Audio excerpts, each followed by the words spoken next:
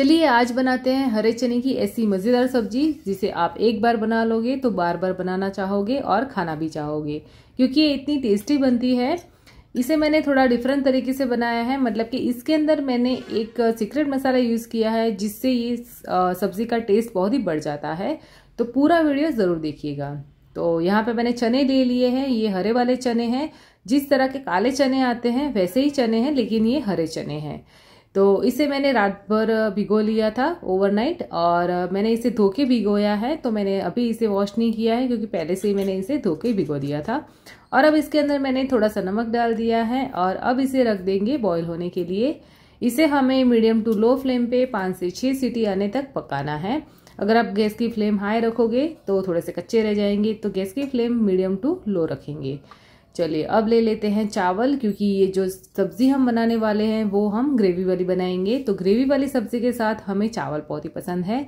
आप इसे रोटी या फिर नान पराठा के भी साथ सर्व कर सकते हो, लेकिन मुझे और मेरे बच्चों को चावल के साथ ये सब्ज़ी बहुत ही पसंद है। तो मैंने दो कप चावल ले लिए हैं, उन्हें अच्छे से धो लिया है, और अब चावल को भी हम पकने के लिए रख देंगे। दो कप चावल लिए थे तो दो ग्लास पानी डाला है। यहाँ पर कुकर में भी सीटी आना स्टार्ट हो चुकी है। तो जब तक चने और चावल पक रहे हैं, तब तक हम बाकी की तैयारी कर लेते हैं। तो ग्रेवी बनाने के लिए हमें बेसिक सब्ज़ियाँ चाहिए मतलब कि टमाटर और प्याज चाहिए थोड़ा सा हमें लहसुन भी चाहिए। तो प्याज और टमाटर को हम एकदम बारीक चॉप कर लेंगे। आप अगर चाहो तो इसका पेस्ट भी बना सकते हो, लेकिन अगर आप पेस्ट बनाओगे तो इसे पकने में थोड़ा सा ज़्यादा टाइम लगता है और अगर अच्छे से नहीं पकेगा पेस्ट तो थोड़ा सा कच्चा बन रह जाता है तो उसका टेस्ट भी अच्छा नहीं लगता है। तो यहाँ पे मैंने इसे बारीक चॉप करके लिया है, टमाटर और प्याज दोनों को। मैंने दो टमाटर लिए हैं और दो प्याज ली है मीडियम साइज़ की। और यहाँ पे मैंने एक लहसुन की कली ले ली है। लहसुन हमें छः से सात कली चाहिए तो लहसुन को मैं छील लूँगी। यहाँ पे हमारे चावल भी ऑलमोस्ट रेडी हो चुके हैं तो एक बार चेक कर लेते हैं, चावल में पानी है कि नहीं? तो ये देखिए, चावल भी हमारे एकदम रेडी हैं तो गैस की फ्लेम को ऑफ़ कर लेते हैं। चलिए, अब हमें चाहिए खलवट्टा क्योंकि इसके अंदर हम बनाएँगे लहसुन की चटनी तो यहाँ पे मैंने छः से सात कली लहसुन की ले ली है, और इसके अंदर थोड़ा सा नमक डाला है। नमक डालने से क्या होता है कि लहसुन अच्छे से कूट जाता है, और अब इसके अंदर डाल देंगे एक चम्मच भर के कश्मीरी लाल मिर्च पाउडर क्योंकि इससे कलर बहुत ही बढ़िया आता है। तो ये देखिए, हमारे लहसुन की चटनी एकदम रेडी है, फटाफट से बन जाती है। चलिए, अब ले लेते हैं एक कढ़ाई और कढ़ाई में डाल देंगे दो चम्मच भर के तेल। ये सब्ज़ी हम ग्रेवी वाली बना रहे हैं तो इसमें तेल की ज़रूरत हमें ज़्यादा नहीं पड़ेगी। तो हम थोड़ा सा ही तेल लेंगे। तो यहाँ पे मैंने दो चम्मच भर के तेल ले लिया है। तेल अच्छे से गर्म हो जाए, उसके बाद इसके अंदर डाल देंगे एक चम्मच भर के राई, एक चम्मच ज़ीरा और दोनों को अच्छे से हम फूटने देंगे।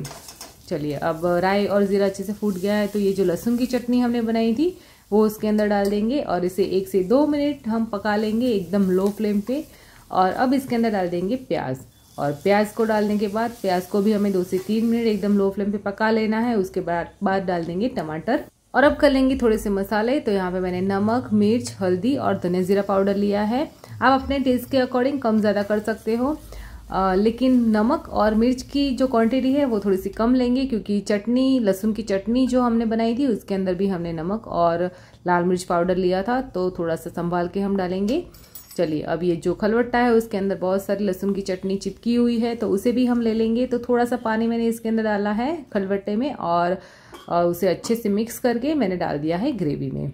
और अब इसे हम रख देंगे एकदम लो फ्लेम पे पकने के लिए, तब तक हम किचन की थोड़ी सी साफ़ सफ़ाई कर लेते हैं, क्योंकि मेरा जो प्लेटफॉर्म है वो थोड़ा सा मतलब कि वाइट है तो उसे मुझे क्लीन करना पड़ता है। बहुत सारे व्यूअर्स पूछते हैं कि आपका प्लेटफॉर्म इतना साफ़ कैसे रहता है तो मैं बीच बीच में इस तरह साफ़ करते रहती हूँ, क्योंकि वाइट है तो उससे उसकी थोड़ी सी केयर हमें करनी पड़ती है।